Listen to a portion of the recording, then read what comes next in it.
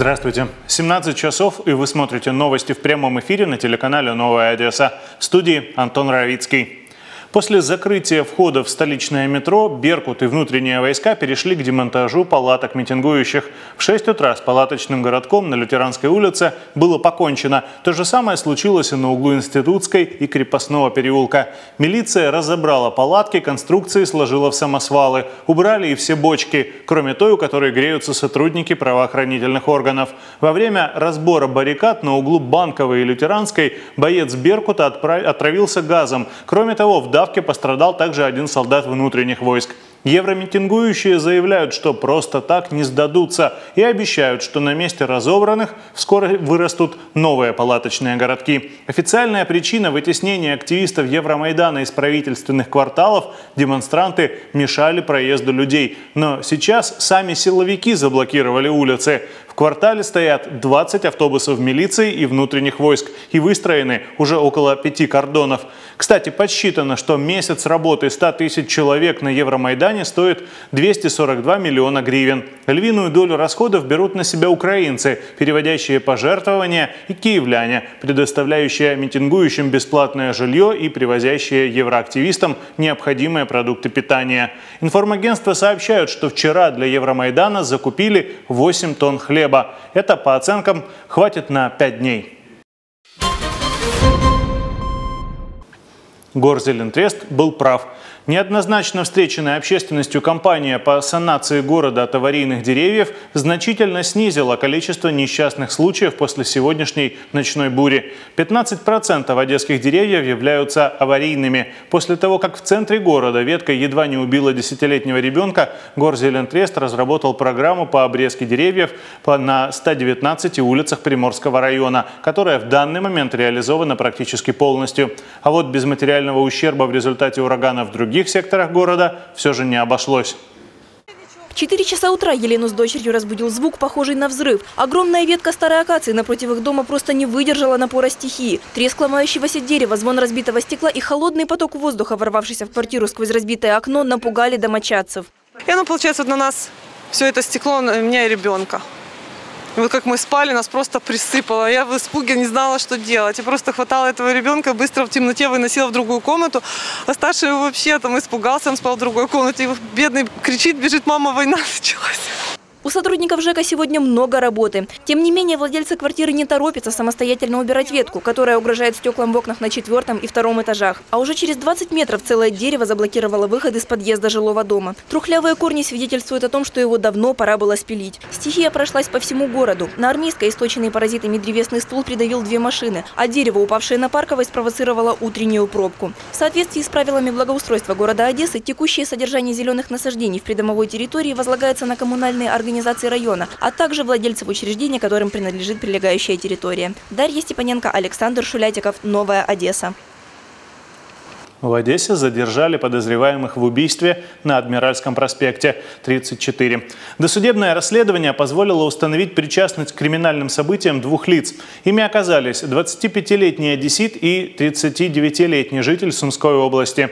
Стоит напомнить, убийство было совершено ночью 3 декабря рядом с известным в Одессе домом с привидениями. Тогда в процессе выяснения отношений с неизвестными двум друзьям были нанесены огнестрельные и ножевые ранения. Один из мужчин скончался скончался от большой кровопотери, вызванной ножевым ранением бедренной артерии.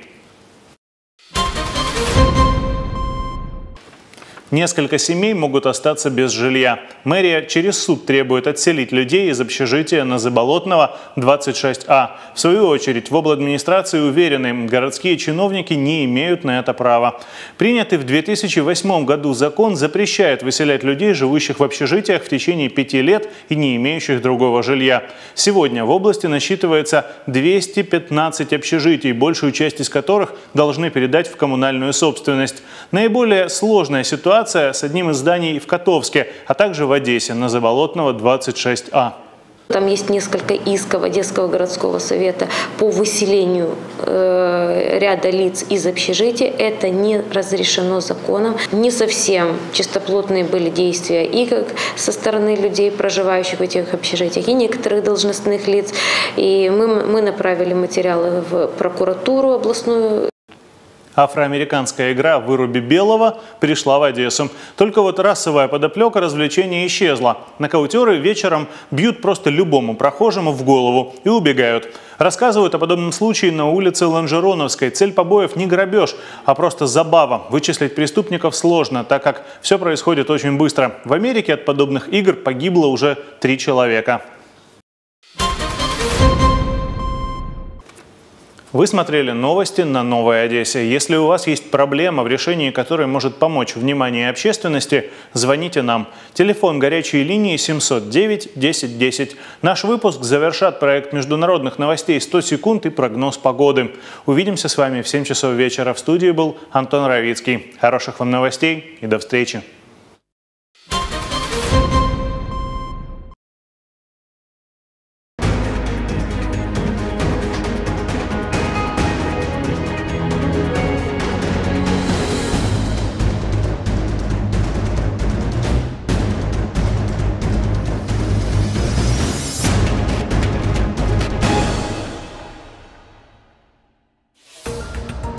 Более двух тысяч авиарейсов отменены в США из-за мощного снежного шторма. Циклон обрушился сначала на южные и центральные штаты страны, а затем постепенно переместился к восточному побережью. По данным местных СМИ, в результате экстремальной непогоды погибли пять человек, десятки ранены. Более 100 тысяч жителей нескольких городов остались без электричества. Обледенение дорог привело к множественным авариям. По прогнозам синоптиков, в ближайшие сутки снежный шторм и ледяной дождь накроет Филадельфию и Нью-Йорк.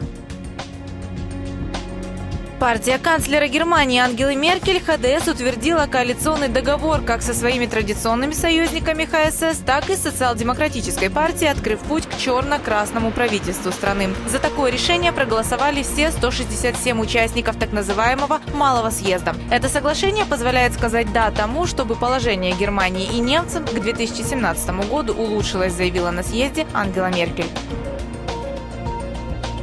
Король Таиланда Пумипон утвердил указ о распуске парламента, отправленный ему на подпись премьер-министром. С этого момента и сама премьер Янглак Чиноват и все правительство получило приставку «временно исполняющий обязанности» до новых выборов Национальное собрание, назначенных на 2 февраля 2014 года. Эта новость никак не успокоила местную оппозицию. Митингующие, а их вышло на улицу около 100 тысяч, дали Янглак Чиноват 24 часа на то, чтобы уйти в отставку и призвали своих сторонников к новой манифестации.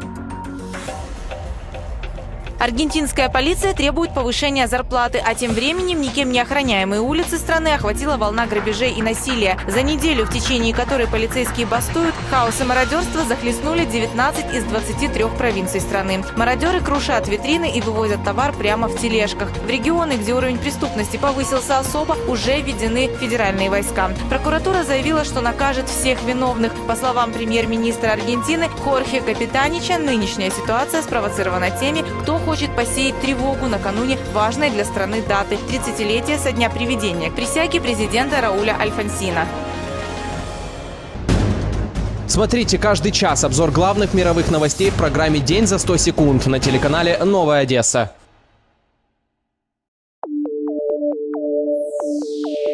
Прогноз погоди від страхової компанії Теком.